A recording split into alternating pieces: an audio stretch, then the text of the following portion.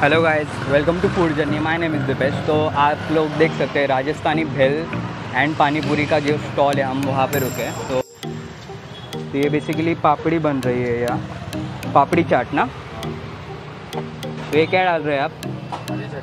हरी चटनी।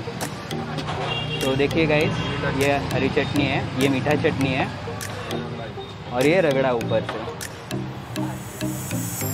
कितना है पर प्लेट सो ये ऐसी है इनकी शॉप और पर प्लेट ये चालीस चालीस रुपये तो चाट बन चुकी है फाइनली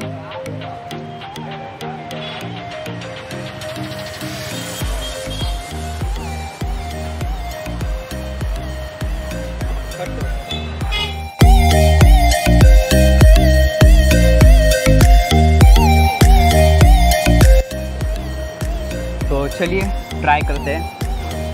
तो ये ऐसी बन चुकी है।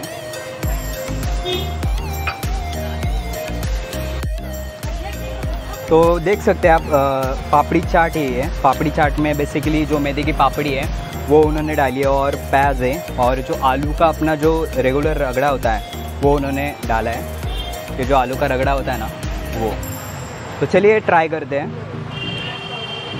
मेरे बड़े भाई ने तो हाफ़ खा ली है।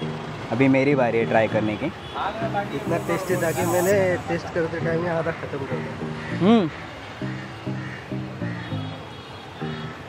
पापड़ी का और जो आलू की सब्ज़ी है जो रगड़ा है उसका टेस्ट भी अच्छे से निकल के आ रहा है।